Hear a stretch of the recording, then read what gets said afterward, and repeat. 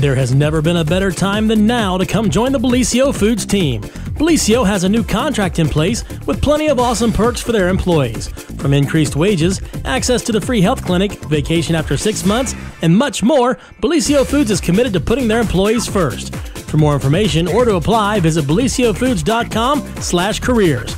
Take advantage of these great new employee benefits and join the Bellisio team today. Visit bellisiofoods.com slash careers to learn more.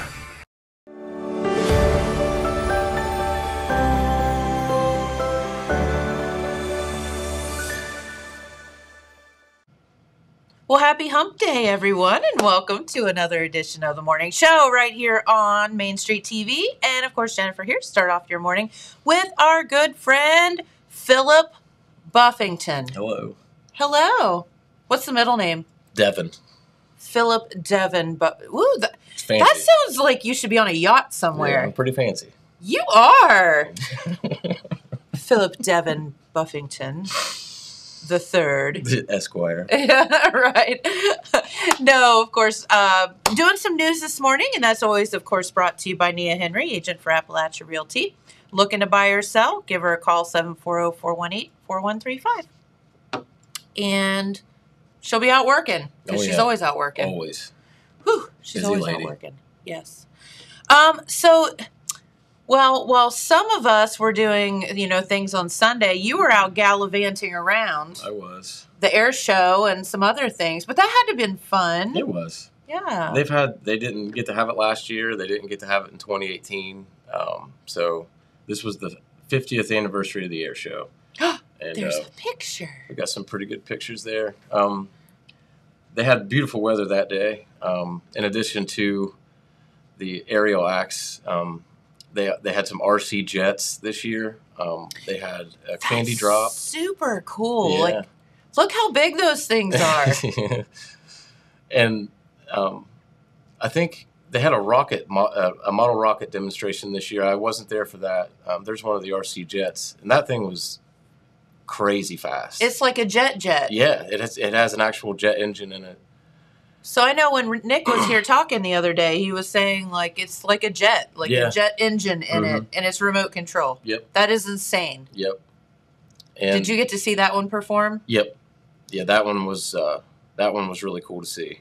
Does it do like acrobatics or does it just like fly? yeah, really I mean, he uh, he did quite a few tricks in the air, and they also always have a remote control. Uh, they made it look they make it look like a push lawnmower, yes, and yeah, there it is. The flying Toro. Yeah.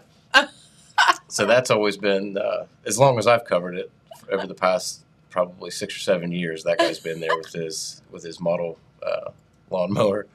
There it is, That's taking off. hilarious. But they uh, always kick off the show with the Screaming Chicken skydiving team, and they bring the flag down to the runway. Uh, the VHS band was there, VCHS band was there. Um, yeah, there's the skydiver with the flag, and they always have uh, Insanity, I tell you. yeah, and that that guy, I mean, landed perfectly on his mark. So I thought that was very impressive. Um, but they also had a skydiving Santa Claus for the kids. They always have a candy drop where they just drop mass amounts of candy onto the ground. Um, Did you get any? I didn't. Oh, I could see Phillip Devin Buffington the third uh, elbowing some kids out the way. yeah, I might. And um, yeah, they, they and of course they always have their uh, famous barbecue chicken dinners for everybody. They kick that off at about eleven o'clock, and those are prepared courtesy of the Vinton County Pilots and Boosters Association and the Fraternal Order of Eagles members. I'm just going to tell you, if, if nothing else, if you don't look at an airplane, you could just go up and get the chicken dinner and be happy. Oh yeah, yeah, and I mean you should see how that only shows a little section of that grill. That thing is huge. Didn't It's they like do like seventy-five yards long? 200 and some dinners or something like that? I thought they were telling us. I can't remember exactly how many, but it's it's a lot, and they continue on doing it throughout the day. Um, That's awesome. yeah, and it, um, it's free. The event is free for everybody all the time. Uh, you don't have to pay. I don't even think you pay all that much for the dinners. Maybe like ten bucks. They they accept donations for parking, but you Yep. don't have to pay. And then all the money that they get is just used to uh, keep up the the airport there in Vinton County. And this has been going on since 1970. So I mean, it's it's been going on longer than what the anniversary actually is because they had to cancel, you know, a couple times. Um, they canceled in 2018 because they didn't have enough acts, and they canceled last year, of course, because of the coronavirus. But back in action this year. Hopefully, they can keep it going again. Look at all that's so fun just to see like the crowd and how Yeah. everybody's so look at that little boy. He's so excited. It was very well attended. You could tell people were uh, anxious to get back out there and see it. So it was a good afternoon. That's super good. And uh, what was your favorite? I mean, look, were there um, were there things that people did with like the airplanes that you were like, oh my gosh, they're gonna die, There- and holy moly. That they the um, the airplane that James showed first, the Citabria plane. That guy is uh, Emerson Stewart from Waynesville. There it that is. plane. Yeah. That guy's always one of the most impressive, and he's always usually toward the beginning of the show. But he always does this thing at the end where where you stand. There's a giant um, terminal at the airport. You can't really see past it when you're on the ground. Okay. So he always goes back to make his landing, but he free falls and it makes it look like he's crashing. And then you don't hear anything. You don't hear the plane engine. You don't know if like the guy wrecked. He goes beyond that terminal roof. You can't see him anymore. And then all of a sudden you just see him like coast in on the runway. so everybody, you could hear, you always hear people in the crowd like, did he just crash? Is he alright? Yeah, and then it, it gets really quiet for about five minutes, and then he creeps back onto the runway. I don't know how he does it, but he does it, and I thought that was always that's always my favorite. I like that a lot. That's so cool. Yeah, and that guy is actually the third, Emerson Stewart Oh. the third. His dad was a pilot too. that Um, is really He's been a part of that show for a long time. Yep. And there's there's Nick pushing that plane back after uh, Emerson had finished up. That is something else. And they had a special MC this year too, uh, Martha Lunken, who um, is a very famous pilot herself. She's been flying since the early 1960s, and uh, she married into the Lunken family. Um, she's from Cincinnati. There's actually an airport there named after the Lunken family. Um, she actually had her pilot's license revoked a couple years back. It's not the first time, but she flew under a bridge and they claimed that that was a little too risky. So they took her pilot's license away. I'm not sure if she has gotten them back yet, but like I said, it's not the first time She's she's had her license revoked. She absolutely Love is. it. Yeah, but that was cool to see her there, and uh, yeah, so that was interesting. No, it's you know you just don't. It used to be you heard about air shows and things, but you you know you think about the amount of money that that it takes for people to fly these planes and Mhm. the amount of skill. I mean, and and and insanity that has to be in your brain to to take these airplanes and do the things that they that they do with them. All these flips and acrobatics and stuff. Did did have you ever heard the story that my dad and John told about the air show and the guy that crashed? I don't think so. It's not. It wasn't funny then. It's funny now. yeah, and so I don't know the entire story, and, and John or my dad can tell you the entire thing. But basically, they were up. They used to do a remote up from the the um, Vinton County Air Show every year, and I guess there was this dude, and he was you know up flying around, and the next thing you know, he. I don't know if he was taking off or landing, but anyway, he ended up crashing into the trees at the end of the runway oh no, and everyone went flying down, you know, to to look for him, and they were like, "Dude, there's no way, like it's bad, whatever." And Dad John are like in the remote unit. And he said, "Here comes this dude, and he's all like, you know, like disheveled and dirty and whatever." He's like, "Man, I just crashed the plane." and the funny part of it was, he's like, "And it's not even my plane." oh no, So, but everybody was like, had taken off, like going and looking for him, and he just like shows up in the mobile unit, like. So he Wow. actually was all right. The plane was not, yeah, and it was not his plane. So yeah, Wow. That was uh, made for. It makes for a good story. They can tell you all the details on it. But he's probably still paying that guy back to this day. If I he's guess. yeah. I hope that thing was insured very very well. But um, but no. Other than that, I don't think there's been that much excitement, other than good excitement, at the Right. Vinton County Air Show, and um, it is neat that it's it's one of the biggest in, of course, the state, and it's free. Yeah, I think it's the biggest free show in the state of Ohio. It's pretty cool, It is. considering the fact that we have Dayton and some of those other Yeah. places that are uh, really known for planes and flying and Mhm. whatever. I want to meet this lady that's the that's the the pilot character. She was a very interesting person. Uh, she they Yeah, she introduced her and um, they really you know touted her up and talked and well do. But then when she got up, she downplayed herself and made it seem like. So I actually looked her up um, after I got back this week and uh, started to read about her, and she's a very interesting person. Uh, Like you want to no go out and hang with her. yeah, definitely. Yeah, yeah. So that was cool. Cool. So what was your um so you had you liked the um acrobatic stuff. The um you didn't get to see the rockets, right? No, no. You ended up having to leave before that. I there, I remember the last time I covered this would have been 2017. Yeah, 2017. They had a rocket car, and I got to see that, and that was pretty cool. that was Rocket one of the. They always they always have some special act aside from what they you know usually Yeah. have, but that was the last um, novelty you know act that I got to see there. But That's pretty neat. yeah, I think this year it was just a, like a model rocket demonstration. But this this thing in 2017 was an actual car with a rocket attached to it, and uh, the guy you know buckled himself in and took off in it. And I think he went the length of the runway just to see how fast he could go. It was it was insane how fast that thing was. No, thank you. Yeah, Um but no, they um I guess they have a model rocket club up there Nick was telling us when he was in here the other day. So that's Oh, okay. really cool. yeah, yeah. I don't know. I don't know anything about it, but that sounds like a pretty neat thing to be involved in. Yeah.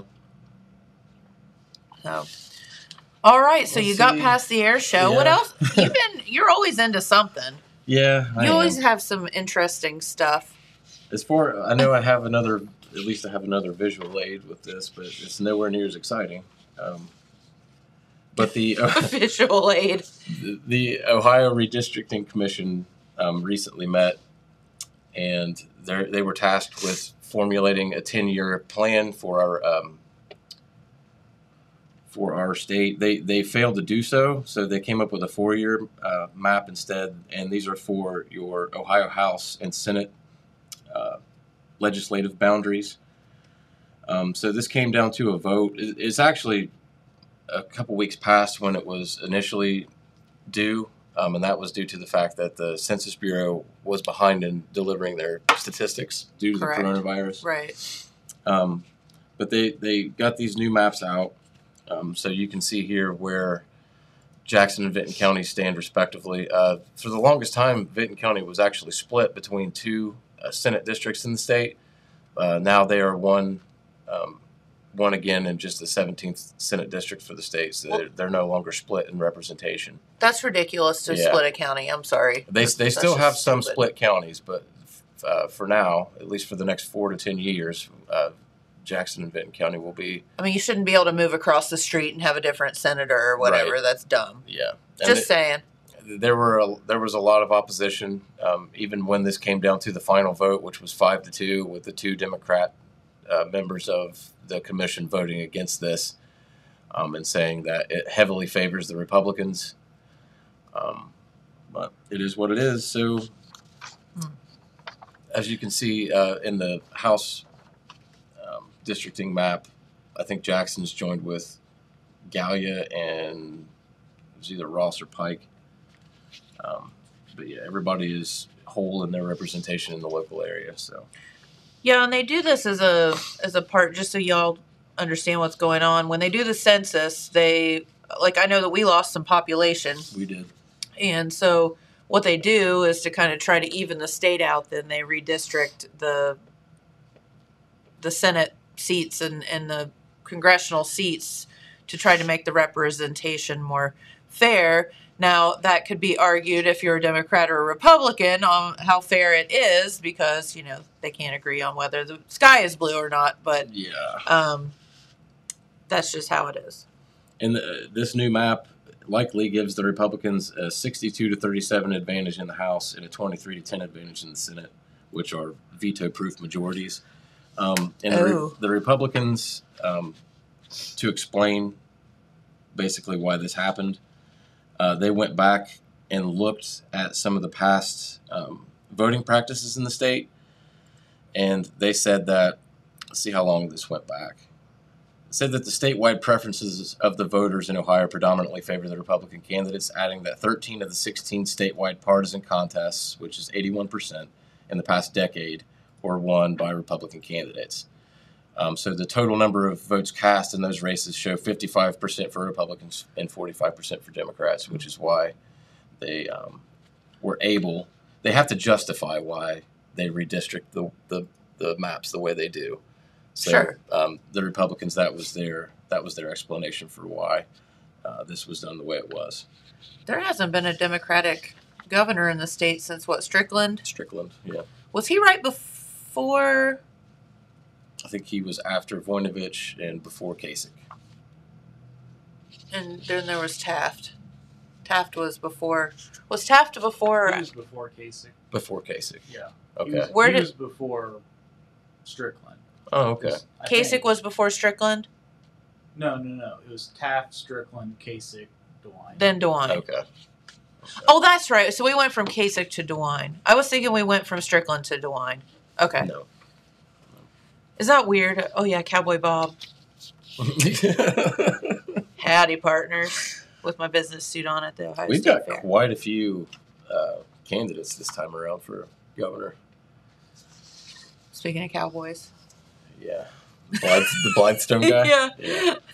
Well, I saw another name too recently on a sign. I can't remember where it was, but it was someone I hadn't even heard of yet. Is it a Um, Republican or a Democratic candidate? Pretty sure it's a Republican, considering where I saw it, which would have been somewhere between here and Vinton County. I'm only guessing, but it was a name I hadn't seen before. I'm sure that'll get whittled down quite a bit. It is so interesting geographically in the state um, how politics are divided. Yeah. So you go into some of these counties and you know you go into the Hocking Hills for example and all you see are Trump flags and some other flags that are um, shall we say uh, I'm- trying to, to not get us taken off the air more colorful toward the, the current president and saying things about him and whatever. You get into some of these other counties, and then you get into, you know, the more urban places. It's like the other way. So, Yeah. but boy, oh boy, you um, there's definitely some colorful yard decorations out there. Yep. Let's just put it that way. yep. God only knows what's in store for us in 2024. I'm just like, good grief. We'll see. At least it keeps it interesting. Hey, listen, it's never boring. No, it hasn't been boring for quite some time. And what I don't understand is we're not even into political silly season yet when it comes to like the really into the presidential races and, and the gubernatorial races and things like that. Like just wait till that heats up. Yeah. It- yeah. It, it'll be soon. It, it seems like it doesn't really waver all that much like it used to. Like it, you wouldn't hear anything about. Oh, there would be nothing. No. Now there's just flags and signs and whatever. It's like they didn't take them down. Yeah. Billboards. Yep. It, it almost never goes away now. Oh boy. Um, I'll, I'll move on so that we don't get any So we don't get, would you like to talk about religion next? yes, please. Um, we had a, a little bit. I won't say it was controversial, but it was it was brought to the attention of the uh, Wellston School Board recently um, during their September meeting, which was just a couple of weeks back. Um, it was during the board comments section of the meeting. Uh, Gretchen Crabtree, who's always pretty outspoken during that portion of the meeting, um, at the very end of her comments, brought up the fact that there had recently been an article published in the Columbus Dispatch about a Wellston student who was speaking out against um, mental health issues and um, uh, struggles with addiction. Um, and really, the the whole point of the article was to talk about how there was a lack of resources in the area Sure. and you know the stigma attached to having issues like that especially when you're you know a teenager um, dealing with all the things that a typical teenager would have to deal with anyway but what everyone took issue with was the fact that the dispatcher didn't even reach out to the district for any comment They they spoke to this young student who I believe is still in high school, and you know they did a really sprawling piece. It was over two thousand words. Uh, it a very important subject, and they weren't meaning to take anything away from the student for what she did. They touted her bravery and you know gave kudos for the fact that she was willing to talk about something that usually is such a you know stigmatized topic. Absolutely. but they they didn't appreciate the fact that they weren't even asked for a comment they weren't even told that this was happening and it really shed a bad light on the district in general and even included some misinformation according to the board um, members and, and superintendent bach. Apparent well and i know this is true too because i looked the article up but it, it, it claimed that in 2019 or 20 i'm sorry 2018 that a student at wellston high school had overdosed in the bathroom. And they were quick to say that that was not the case. It was a, a, a separate different medical emergency and that it was taken care of immediately. Um, but it's kind of important as a journalist um, i'll say that i i too think it's very important that the student spoke up and there are definite you know holes in the system and the school district officials were not disputing that fact they were saying that there definitely are you know more problems in the area than there are counselors to deal with them Sure. but they also pointed out that you know there are a lot more services available now than there were say you know when i was in high school or 25 years ago when some of these teachers first started um, they were they were quick to say belinda dixon who's been a teacher for you know a quarter century and is the president of the teachers uh, union there in, in the city of wellston said comparatively between when she first started and now it's night and day. She can have somebody there within you know that same school day. They have licensed counselors in almost all the buildings. They partner with integrated services with hopewell behavioral health. Um, so they have a lot more avenues to take now i Okay. suppose. But it wasn't I, I will say that i don't agree with as a journalist not reaching out to a school district to get at least their side of the story because it paints a, a pretty bad picture and they're not disputing the fact like i said that there are problems but it's still it's not it's not a fair representation of the whole story when you only get one person's opinion Well, Phil, let's just be honest. That's what the big city news does when they come down here. yeah They go find, you know, some cabin in the holler somewhere Yeah. where there's no indoor plumbing or something and then that's take a picture of that and that's how and this is why I'm so critical of the media covering our area because you know southern ohio like, like we exist south of 70 like there Mhm. are people down here and and we're not all you know idiots. Yeah.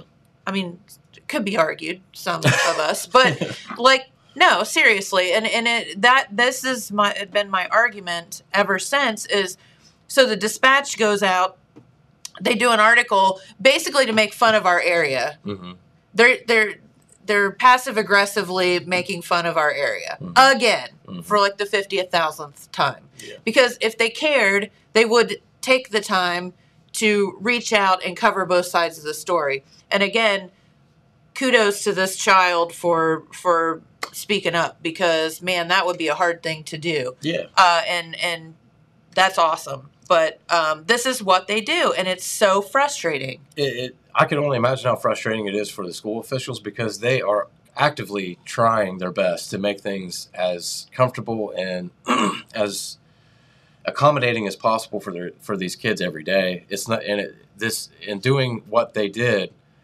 makes it seem like you know these problems exist and they exist because these people choose not to do anything about it. That's not the case. I mean, there's only so much a superintendent or a board member or a teacher or a guidance counselor can do in a given day. And I don't think that anybody's being cold to anyone with any of these issues. I mean, there might be some instances where things were handled the best way possible, but I really don't think that it was anyone's intention in the Wellston City School District to just completely ignore somebody's health issues or mental health issues or what have you. Well, let's be honest. Could they not write the same article about uh, Dublin, I'm sure. Or- yeah. You know, Cleveland, or anywhere else for that matter? And and um, So that's that's what's frustrating about Yeah. it. And Yeah. I'm sure that if they would reach out to uh, a larger school district like that in you know a more populated county, that they would have had ample opportunity to tell their side of the story. And um, all the boards seem to be in agreement that something needed to be done. I mean, I don't think they're going to go up and protest outside of the state house or anything, but I think that Gretchen Crabtree expressed her intent to write a letter to the editor of the Dispatch I think that's fair. I to at least let it be known that they didn't appreciate the fact that they were just looked over. Um, now If you- they didn't comment, then you deserve what you get. right. But Yeah, I, I I know in working with these people for as many years as I have that they wouldn't have gone quiet on this topic, Sure. and I'm sure that they would have gladly admitted that there are issues that are beyond their power to control. But I think it would have been nice for them to be able to have that platform um, to to defend themselves. Unfortunately, Well, and offer up. I don't know. I, I liken this to somebody that's very quick to point out a problem, but never, you know, don't come to me with a problem. Come to me with a solution. Like Mhm. you can come to me with a problem and a solution, but you know, let's not just complain and then not give an alternative or or a solution to the issue. Yeah. So, agreed. But do you want to talk about religion now? That's not a topic I think you want me to address. But no, yeah, that's a rough one to take as far as you know. I've been I've been trying to to keep up with it too, and I'll um I'll probably get a hold of Miss Crabtree soon to see if she has followed through with that. okay. Um, and we'll let you know. yeah, we will let you know. And I think the only other story that I have um, pertains to the Jackson County Board of Elections, and right now we have both the director and the deputy director preparing to leave after decades of service. um, Crazy. to the yeah to the overall voting process here in the county. They've uh, I know at least uh, Cheryl Lewis Browning has been, who is the deputy director. She's been involved at least as a poll worker since before 1985. Um, then she came on as a seasonal worker, and I think has been in the deputy director's position since I want to say around oh it was June 1, 2007 when she replaced Maxine Robbins when she retired, who had been there for quite a while Yep. as well. I remember that. Yep. And um, let's see. I, I, I know they're running illegal right now in the paper to seek these replacements, Mhm. and they're not going to. And it wasn't planned. They didn't plan on you know Joanne and, and Cheryl didn't get together and, and plan to retire at the same time. Cheryl had actually had initially planned to step down at the start of next year, but then when she learned that Joanne was leaving as well, they decided to um, stick around at least through the first election next year, the, the primary. That makes sense, and then and then help out because, you know, typically, so you have a director and a deputy director of the board of elections. One's a Republican, one's a Democrat. Mhm. Whomever is in office in the governor's seat is the director, Yeah. that party, and then the deputy director. So there's been times where Cheryl's been the director and vice versa because Democratic governor versus Republican governor. But um typically, you know, you would have people come in, one would still be there and help the Yeah. other one along, Yeah. like training or or whatever. And this is everybody's leaving at the same time. And um I don't know. So someone asked me this question the other day, and I do not know. Are there other employees in the office that could step up? Like, are there other full time employees in that office, or is it just those two? I don't know. As far as full time goes, I'm not really sure. I know that they do have like the seasonal workers that, that like they they both have been in the past before they stepped into their respective roles. Um, I'm not really sure. I know that they they have, of course, the poll workers that just work during the election season. Yep. Um, these seasonal workers, I'm not sure exactly how many hours they get.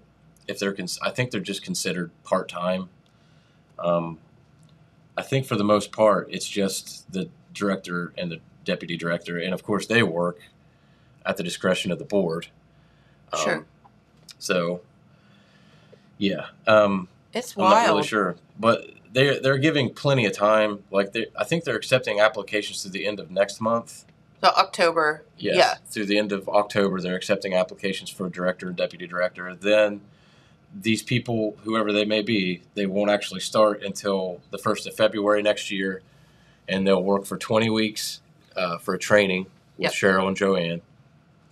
And I think that starts out at that'll be like a 40 hour per week, $16 an hour, I believe, is the starting wage. And then beginning July 1st, the pay rate for each position will increase. That will be at the discretion of the Board of Elections members. Um, and then that becomes a salaried position where, you know, there's no overtime pay, no comp time, anything like that. Um, of course, during elections, you're probably going to be working a whole lot more than 40 hours a week. Oh yeah. Um, but there will probably be down times where you won't have to be in there as as much. And there's some benefits and things that go along with that that make it a, a, a nice perk.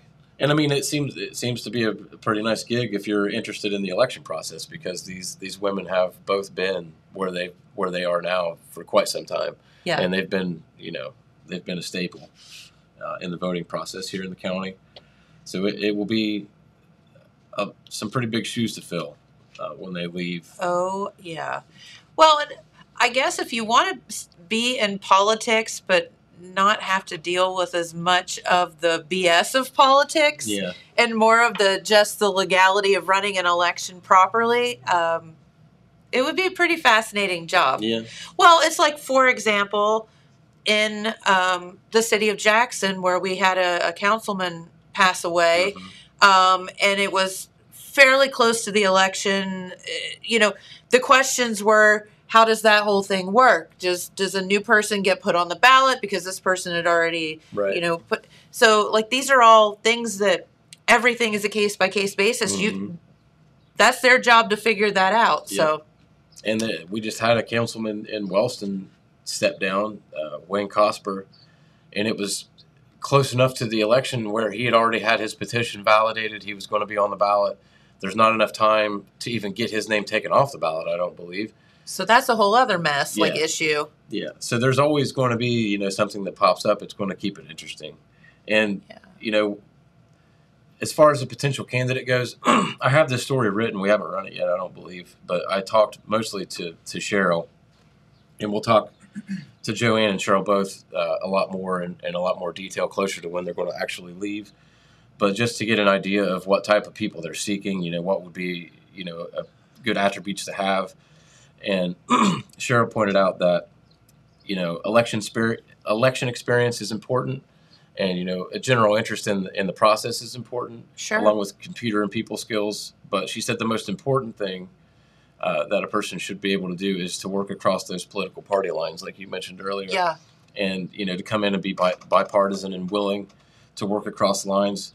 Because as cheryl pointed out to me uh, while we spoke over the phone she knows of instances in boards of elections throughout you know the state where the director and the deputy director don't necessarily see to eye to eye and don't work too well together.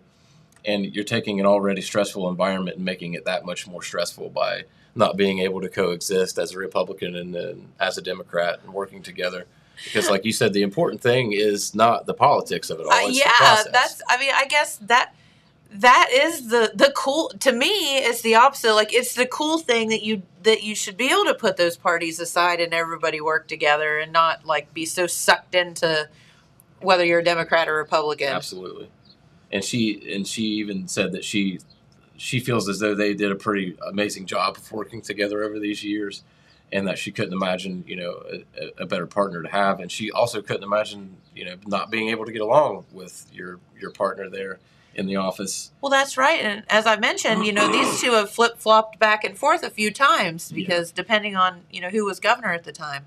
and she also wanted to to give kudos to uh, Jim Milliken, who was the director for quite a while before he stepped up into the regional li- liaison position for uh, for Secretary of State Jon Husted, uh, back, who was the Secretary of State Jon Husted back then.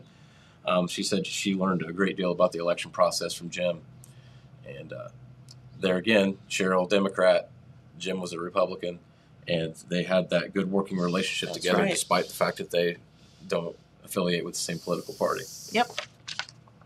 And I have a million other things I could say, but these are the ones I picked out for today to harp on. So I have kind of a fun story. Yeah, we love fun Something stories. fun. Uh, do you remember a while back, Jen? We talked about funny minor league baseball team names. We did. Oh my god, were you here that I day? know. Oh man, there were some hoots.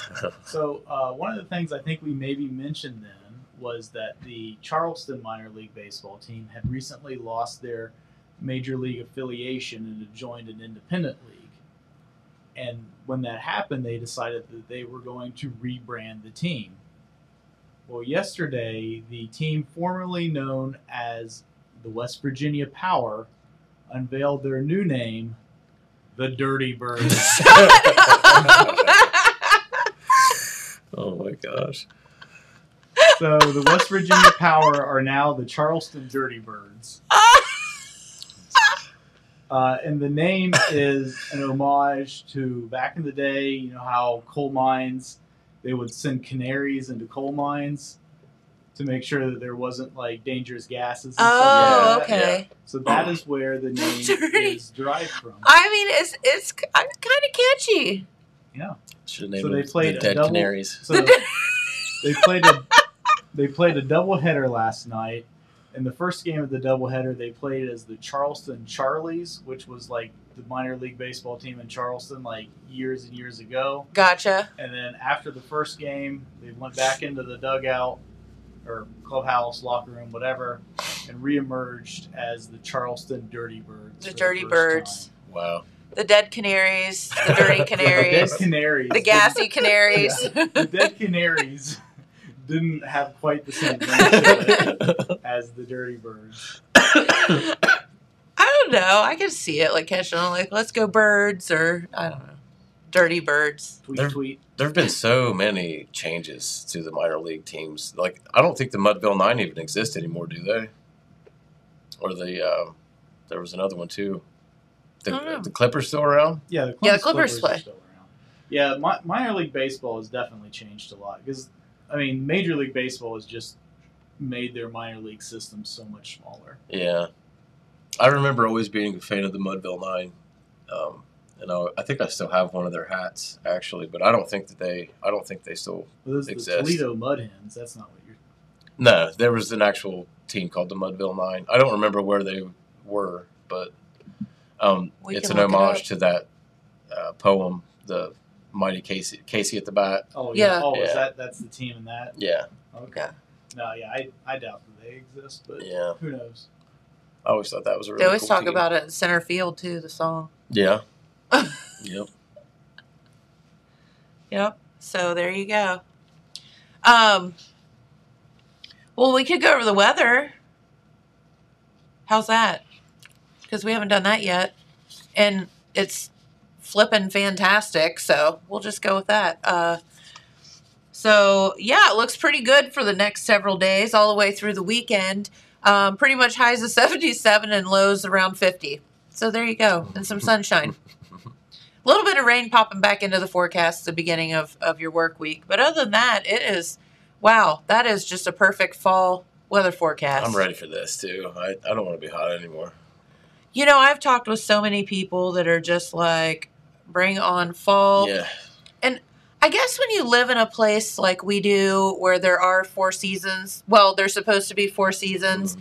and you you grow up with that, you look forward to those four seasons and you know, it would be a little bit hard as far as I'm concerned to live somewhere where you don't get to experience those seasons. As much as we all gripe and complain about winter and and Yeah. whatever, but I like the summer for a while. I love the spring, love the fall, like but then after a while you're over it. Yeah, especially when it's been you know 90 degrees since May. It just it seems like it goes it drags on, and so does winter. Winter drags on too. But I'm more equipped to deal with the cold than I am the heat, and I can't stand it. Yeah, I know. Like I feel like love that you're just so honest about Yeah, that. Yeah, But no, I I feel like the older I get, like I was always a summer person, man. Just Yeah. like no matter what, I was sitting outside or whatever. And now, I and I don't know if it's from having like being at the restaurant where you know you're in a hot kitchen all the time or whatever, but I don't want anything to do with hot Nope. anymore. Like it's much easier to get warm than it is to Yeah. cool off because you can't walk around like naked outside. So I mean, you could uh, yeah, you probably yeah, but if you wanted to, you know, start some controversy. Yeah, I'm not. I'm not suggesting it for anything. Hey, uh, Dog the Bunny Bounty Hunter is in the is in the news. I saw that. Yeah, Yeah, he's That out. dude looks uh, like a cartoon character. I know, like he's a real life like cartoon character. Yeah, Yeah, like you cannot make him up. and everybody's like, finally, there's going to be some justice in this case. I Like, No one doubts this guy at all. It's just like it's over with now. He'll be like- found in within days. Dogs on the hunt. he's gonna find him. The kid's going to turn himself in promptly. Yes. Uh, but no, Dog the Bounty Hunter Chapman is investigating a tip um, about this Brian Laundrie uh, dude that, that obviously was the boyfriend of, of the girl, uh, young lady that disappeared and is now uh, unfortunately was found dead. But he's got all kind of tips now, and of course, as soon as he inserted himself into this case, like the tips just started just going crazy. And they're saying that and and th- they have um, actually proven this as of this morning that and he got a tip about this a while ago that the parents and this kid went to a t- campground in Florida. And it was 75 miles away from where they live. And so that's where he's kind of focusing right now. Because Okay. he's like wait a minute. And they have video of them all three going into this campground but then they have video of only two people leaving. So they're Oh. like okay. And it's like well did he leave with someone else? Was it him and someone else that left? Like what what is going on? Of course parents aren't talking and the kid has disappeared off the face of the earth his parents said he went hiking and hasn't returned um, which everybody is like either he, he went out hiking in this it, it's a, it's a very very um, like uh, Everglades ish like Um, kind of place full of snakes and alligators Mhm. and all kind of stuff like that. Um, be very very uh, treacherous to actually hike and survive. But he's a survivalist, so they're like, oh well, you know, he could just be out doing his thing. But that was like over a week ago, Mm. or he could have gone out there and you know he could be dead, or he's on the lam somewhere. But the whole fact of the matter is, no one knows where this kid is. He came back. He goes on a trip with his girlfriend and comes back without her, and nobody seemed to think that was weird. So, right. other than, you know, everyone in the country except for him and his parents. I just So, it's not. people handle things differently, I suppose. But I would like to think that if I were out, like, and my girlfriend went missing, I would not leave until like wouldn't you think you'd be like calling everybody be that you could crazy. call? I don't. I don't know, man. I, Like I- five minutes into it. right. Not yeah. like, oh, a week later I'm going to come home with her van, mind you. Yeah, yeah. I don't know. They're they're like, I think it's hundred and seventy thousand dollar reward right now for information. I think I saw yesterday. me. it's crazy. Like it was the family got together, uh, Gabby's family, uh, some of their neighbors. Um, I can't remember who else, but there were like businesses involved. But it's like hundred and Oh, seventy thousand dollar reward for information. And it's Um, not even information that leads to you know the ultimate arrest of this kid. It's just information. in general. information. Um, so Dog says for sure they know three people came in on the sixth to this campground and two people left on the eighth. Um, and the parents say they don't know where he is. I'm sure. I, I just wonder why. Dogs on the prowl. You better look out, dude. I'm telling you. I mentioned this to Jen uh, yesterday. I think it was. I saw Dog the Bounty Hunter in Cincinnati one time. Really? He was at this little like patio cafe thing at one of the nice downtown hotels. And you said something about a van a second ago. So he, of course he's got like this big like tour bus thing, like with his face on you know inside of it, and it's like parked right out front of this fancy hotel.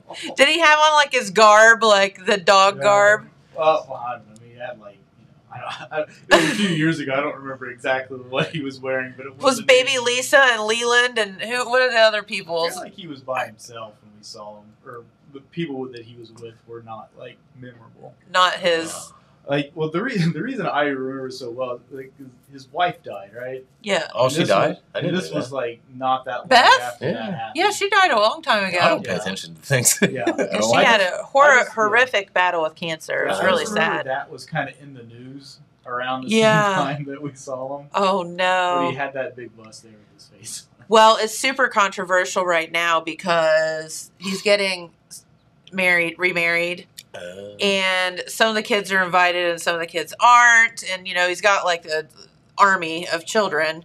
And I read an article the other day where there's this all this big controversy about it, but so was he like invited into this thing, or did he just like show up and be like, "I got this"? I think he pretty much inserted Yeah, I think himself he just into saw it an opportunity to like get back on the to news. become relevant again. wow, good for him. like, oh, Yeah. the girl died. I'm all over this. But is it weird that people are just like, yeah, dogs on it, man? like I said, Like, nobody ever. I haven't seen the first thing. Like, what is this guy doing? It's just everybody's like, "Oh, well, Well, finally, thank God. it's going to be taken care of." Like, Forget the FBI, fingers- dogs on it. Yeah, dude's covered in leather and feathers. So. he's Like got leather it. He's got feathers and the biggest mullet you've ever seen. it. and every '90s kid's dad sunglasses he's got. Hey, I, I'm all about it. I mean, he's like kind of reminds me of like cartoon character like the Tiger King, minus the getting arrested and and Yeah. whatnot. Although he's gotten arrested a couple times. Yeah, too. it's just a matter of time before. Yeah. it turns out he's running a like illegal tiger ring or something like that. Yeah, he's that caliber of guy, unfortunately. Well, I'm gonna tell you what. I'm sure he misses Beth because Beth just knocked the tar out of everybody, Yeah, and she was rough. Yes, she was. I can't believe I didn't know she died because I used to be a pretty big, uh, pretty big dog bounty hunter. I would- is that even while. still a show? I have no idea, but I sincerely doubt it. This is probably his first step toward uh, Yeah. bringing that Toward thing back. stardom Back. again. Yeah. Yeah. I'm with you.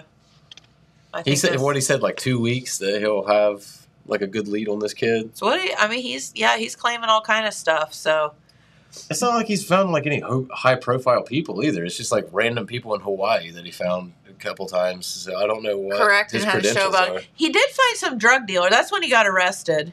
Some drug dealer or because they something had down in guns Mexico. and stuff. I th- yeah, it had something to do with like him crossing. I think the border to oh, go. Okay. It was frowned upon by the Mexican government. I'm pretty sure, if, if I remember properly. Dog the bounty hunter did something that was frowned upon. That was Oh, frowned Lord. upon. Oh Go shoot! get him, dog. That's right. I mean, I'm all for it, man. Somebody needs to find this kid. So did you kn- guys So- know that uh, today is the 50th anniversary of Disney World? No. Disney Flor- World. in Florida. down in Okay. Florida. Yeah. That's awesome. Yeah. I'm trying to. I, I started talking over here. Where? Okay. Uh, yeah. So We're so the prepared. uh, the park the park was announced uh, just not long before Walt Disney died, That's true. and he died about like two months into the planning. He his- didn't get to see it open. Oh, his brother brother Roy finished, Yep. you know, the planning and the construction stuff like that. Walt's big thing that he wanted to see is what eventually became Epcot. Yeah. He had this whole vision for like a city of the future Mhm. and like Orlando gave them like free range to do like anything they wanted, like permits and things like that. Like if they wanted to have like a nuclear powered, you know, Like they whatever. just were like, yeah, you like go they for were it. allowed to do it. Like they didn't have to get like special permits or anything. They treated That's it pretty like scary. it was yeah. Isn't it's crazy.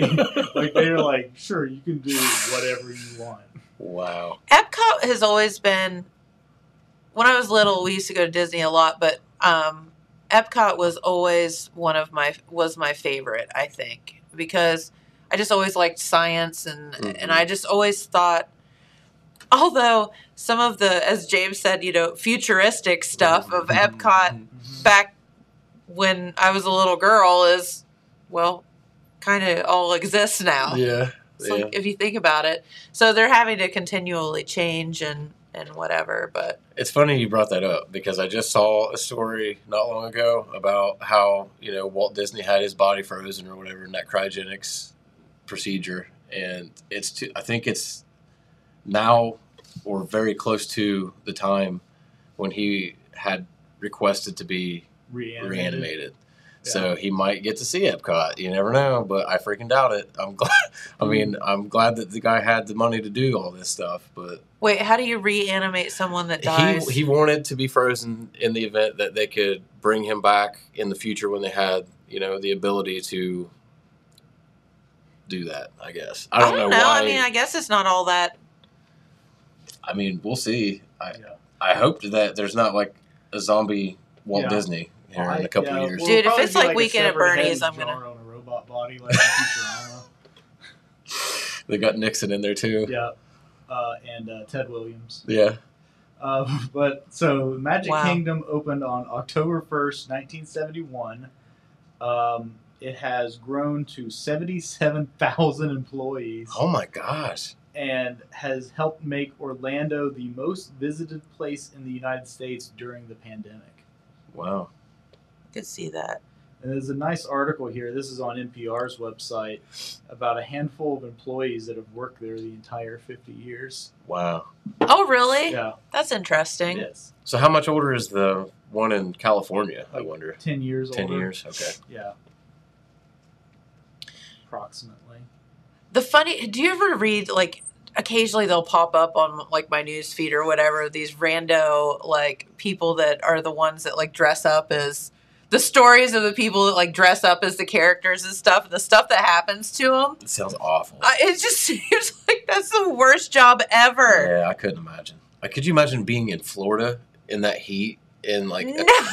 Huge costume? Like, especially Mickey Mouse costume is black, so it's going to be even hotter Right. than that. Yeah, I I, think bet there's heat I stroke think once you have that many layers of foam, it doesn't matter what color it is. Yeah, yeah. it could be white and it'd still be miserable. Oh my gosh. be a good way Uh, to keep the weight off, I guess. Yeah, they told a story uh, on the radio this morning. I don't see the exact numbers here in this article, but when they opened the park for the first time, they, yeah, okay, here it is. So when they they had a big parade and they made a huge like Disney band made up of like all the students from like the local high school bands. Yeah. So they had over a thousand people in this marching band, and it, they like the back of the band was literally like a quarter mile away from like the director. so they had, so they had directors on top of the buildings all throughout the parade route, so that the kids in the back could That would make sense. Because they they would be completely off. They Yeah. could be completely off kilter yeah, from. I mean, they probably couldn't even hardly hear the people. Right. right. They have no in the back. idea. Yeah. I would have been definitely not even playing. I'll just bet. pretending. Yeah. Oh, yeah. You're just walking. You're just walking and waving. Was just owning thousand- that. Thousand member band. and a third of them were doing what I just said. Yeah, Yeah. exactly. it's like I don't remember what we were That's even still doing. like 850 people. oh my god! No, I always, I always thought that uh, about how awful that would be to like be the Disney character or whatever. I don't know. There's probably some people that like really enjoy it, but so yeah. Have you guys seen the Gaston at Disneyland? You know. Gaston's like the big muscly guy from Beauty and the Beast. Oh, okay. Okay. dude, the dude, I mean, who knows if it's still the same actor, but this guy just went like completely viral a few years ago because he was just so good at it. But that's like, he's just like a guy. He's not wearing like a big foam suit or anything. Oh, dude, he's like a big, huge Oh, guy. so He he's was just a big dude. But yeah, he was great. And he'd like, you know, do like bodybuilding poses with people and stuff like that. And he was really funny. oh my gosh, that's so funny. Well, when I was in Key West, I met one of the guys. He waited on us that uh, played Big Bird. Really? Yeah, Was he huge and tall? He was Yeah, very tall, okay. very tall and thin. Like the real, like the main Big Bird. I'm blanking Yeah. on his name right now. Uh, Caroll Spinney. I don't know. I don't remember what his name Well, he- was. Caroll Spinney was the main actor that played Big Bird. Was did he? it for like 50 years. Yeah, because he I went to don't Jim know. Henson's uh, funeral. Yeah, they made a documentary about him really recently called I think it's called I Am Big Bird. It was Okay. really really good. Yeah. I don't know. See if that person lives in Key West. Because that guy came and like sang a song and like. Yeah, yeah, Yeah. Uh, he- like he was one of like the original like Henson performer. He's of course retired now. Yeah. I think he's still alive. I think he is too. Yeah. I think I saw the same documentary you're talking about. the about. documentary is really good. Yeah, it Do you was. know how the Big Bird suit works, Jen? I do Like how the not How know. the puppeting. So of course I'm off camera, so it doesn't do any good. So maybe Phil can mirror what I'm doing. So you're in the Big Bird suit, right? And you're holding one hand up like this, and that's Big Bird's mouth. Okay. So you're operating Big Bird's Yeah. mouth like this. So your other arm is here, and it's one of Big Bird's arms, and then Big Bird's So arm. we're we're we're at Right. this right now. like Just to let you know what Right. James is doing. And so this arm has a string on it that goes across and is connected to Big Bird's other arm. So when you move your So hand you're- like this, Big Bird's hand goes like this. And when you move your hand like this, Big Bird's hand goes like this. So this is how you puppeteer Big Bird, going like this. You got to be way coordinated. That's Yeah. like chewing gum and walking. It. It's like and you can't you can't see what he's doing either. Wow. that would be tough. Yeah. That would be very tough. And he and it's him in the suit talking and singing. Doing that. Doing all of Doing this. yeah. And not really being able to see. No, thank you. Yeah. I hope he got paid a whole lot of money. I bet he did. Yeah. I bet he did. I think he's doing all right. That's funny. Um, so you want to hear a funny story? I do. So Jamie and I, uh, I made him take me to the Newport Aquarium over the weekend. Okay. He made him. Oh, I made him like he was not going, and I asked very nicely, and he obliged. obliged. Yes. So anyway, we're walking through the aquarium, and all of a sudden, we get to this place where there's like, there's like a kid like kind of playland in the middle of it. And there's all it's like the frog room. There's all these little tiny, which is really creepy. All these little tiny frogs are about that big, and um, they're all like poisonous and stuff, and they're all super colorful Yeah. and they're running around and you're like oh my gosh like and they said that they're using they're trying to work with their poison as a painkiller for people Huh. because it's like 100 times stronger than morphine Oh. like what they can extract extract from them anyways i'm walking down the ramp jamie's in front of me so i know it's not him and all of a sudden somebody gets uh, somebody gets a handful of jen's rear end oh boy. I mean, like a handful of Jen's rear end. So I'm like, and I look, and it's this little boy. he, he goes, like that. And I'm like, and all I could do was just bust out laughing. And I'm like, Jamie, that kid just grabbed my rear end. And he was like, What? I'm like, I swear. And he thought, that little kid thought it was the funniest thing ever. I thought you were going to be like he thought it was his mom and like Well- ran into you on accident or something. And then- no. I So- thought you were gonna say it was Big Bird. If it was Big Bird, that'd be even better. But no, I was like, and then I got to thinking, I wonder if he thought I was his mom. I don't really know. It would be probably less, um, you know, bother. It would bother me less if he did think it was my bothersome. Yeah. Anyway, so yeah, Jen got attacked in the in the middle of the Newport Aquarium by like a four year old. wow. Sexual assault 101. I mean, somebody could have. I mean, in today's world, it wouldn't surprise me if somebody didn't report it. Yeah, press But- charges. Cancel that four year old kid before yeah, he right. gets to Just, start you're done. Out. Yeah, you're gone. Go in the corner. it was a pretty cool place, though. I'd, I'd never been there before, so I, I don't think I've been there either. It's one of the things I'm planning to take Parker to. Maybe when the weather gets bad again. yeah. And they are open. I didn't know this. Like every day, Really? three sixty five. Christmas Day, they're open. Wow. Yep. Um, but they have sharks. They had oh my gosh, they had this these white alligators. Hmm. And when I say alligators, I don't mean like alligators like, you know, alligators. I mean like alligators like 12 foot long white alligators. So, and there's like a sign I was reading about them. It just says they don't, they can't live in the wild because they can't camouflage themselves. Yeah. And um, the white does not protect their skin Mm. so they're they get burnt and all kind of stuff. So anyway, they're living in there. Huge. So this alligator, we're like, oh, cool, white alligators. And this one, he just like comes up, and he's just giving us the stink eye. And I mean, walks right up to the glass, and you're like, and like it was like one of those where I encounter a snake in the wild, like I couldn't move. I'm like, is this thing gonna get me or what? Through the glass, you know, like I'm sure. I'm not the first dinosaurs, person that, that the alligator's done that to. as far as I was concerned, he was plotting on how to eat me. I don't know. I'm sure he was. But uh, yeah, it was they were, but they were huge. Could you imagine how hungry that alligator would be in the wild, though? Like you said, how hard would it be for him to sneak up on anything? Oh, it would be impossible. Poor guy. Well, I'm glad that they're finding these creatures and keeping them safe. Yeah, I'm. I don't know. I I was talking to my mom about it. I was like, I'm a little torn about these aquariums and zoos and things like that, just because. But yeah.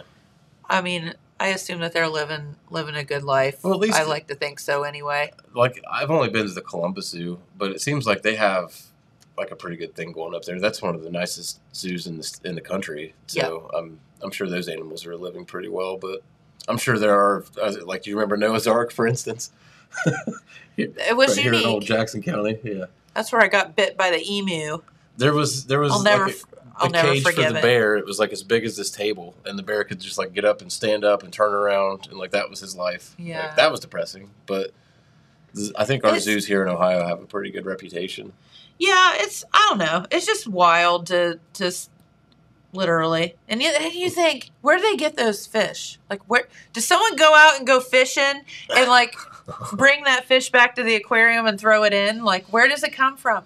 And I mean, there's some fish in that aquarium that are like the size of this room, Yeah, yeah, and you're like, oh my gosh. terrifying. And who knows what is uh you know in the oceans that we haven't that we haven't seen yet. it seems like every time they go down, they find some like. 50 new species of whatever and they're all It's creepy crazy. and like look like aliens and They yeah. do, or dinosaurs. We know more about like the moon than we do what's in the ocean. I find that creepy. it is. Could be anything down there. There could be. So all I can know tell you is if I encountered some of the things that I encountered saw at the aquarium in the ocean as I was swimming, that'd be the end for me. Oh yeah, Like, no, thank you. Yeah the ocean freaks me out. So it's beautiful. Like to look at it.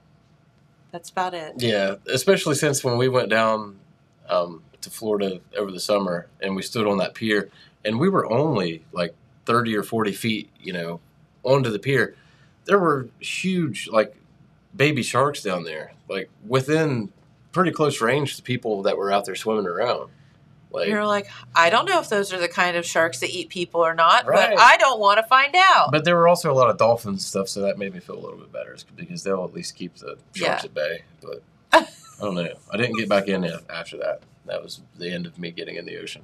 I got to touch a shark at the aquarium. Really? Yeah. Mm. It was kind of fun. There's a you can pet the stingrays, you can pet the sharks. I didn't want to pet the stingray. I was afraid it was going to jump out and Steve you know Irwin Steve you? Steve Irwin me. Yeah, definitely. I won't trust a stingray after that. Terrifying. If that guy got killed by one, I stand Right. no chance. So yeah. Yeah. All right, well, we haven't talked about religion yet. I'll be back next time. I'll be prepared. okay. I'll study up on my theology. Uh, don't worry about that. you're, you're fine. All right. So, uh, James, what do we have planned for the rest of the week?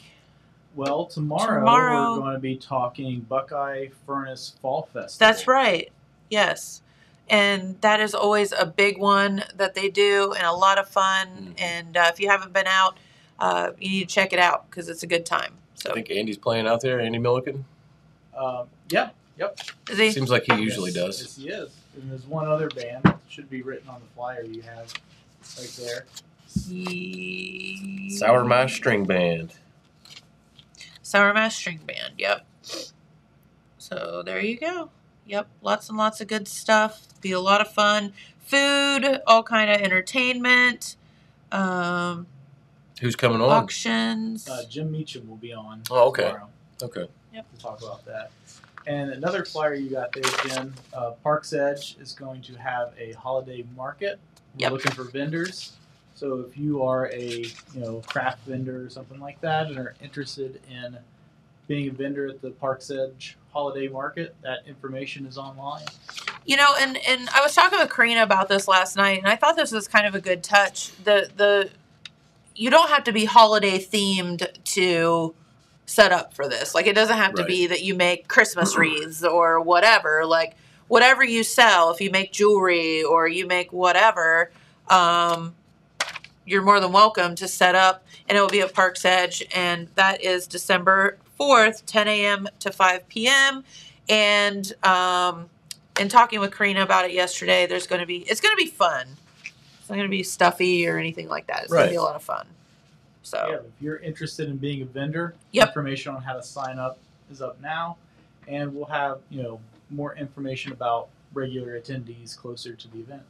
correct. That's right. And you can sign up at enjoyparksedge.com slash holiday market or just give them a ring and they'll hook you up. Awesome. So yeah, that sounds like fun. And uh, I was thinking about something. Cre- what can we sell that's creative? We'll have to come up with something. Yeah. We could sell jokes. Maybe I could. Maybe I could do the kiss my ass booth and that, where I bring my little donkey and people can give me kisses. You'd have the grab your ass booth and I, I, I mean, why not? All right, on that note, Uh, we'll I don't guys know, I mean, Evidently, people do that for free. So, Maybe. that's all what right. you get when you invite me over here. I know. I know. Okay, well, have a great day, everyone. and we'll be right back here tomorrow to talk about the Buckeye Furnace Fall Festival, and that's going to be a fun one. So, um, thanks for watching, and we'll see you then.